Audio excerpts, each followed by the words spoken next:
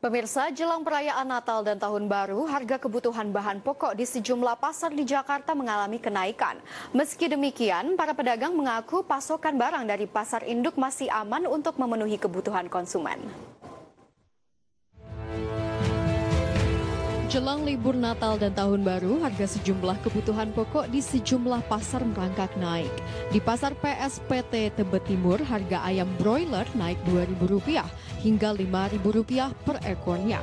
Berbeda dengan daging ayam broiler, harga daging sapi masih stabil mencapai Rp125.000 hingga Rp130.000 per kilogram. Sementara itu, harga cabai rawit merah mencapai Rp50.000 per kilogram sedangkan harga cabai merah mencapai Rp35.000 per kilogram. Kemudian harga bawang merah mengalami kenaikan tajam dari Rp35.000 menjadi Rp45.000 per kilogram. Uh, naiknya sih belum banyak banget, masih standar aja lah. Bisa 30. Tadinya bisa 28, 30, tergantung permintaan aja mau yang harga berapa aja. Uh, tergantung besar kecilnya dari ayam aja. Ini sapi 12 setengah 13 ya. Ada yang 13 yang 12 setengah. Iya. Nah, saya ini paling masa naiknya masa 5 ribu lah per kilo. Masih stabil. Lagi naik, Mbak. Berapa, Pak?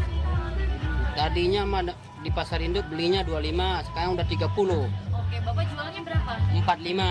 Bisa jadi naik, soalnya pasok dari induk kurang.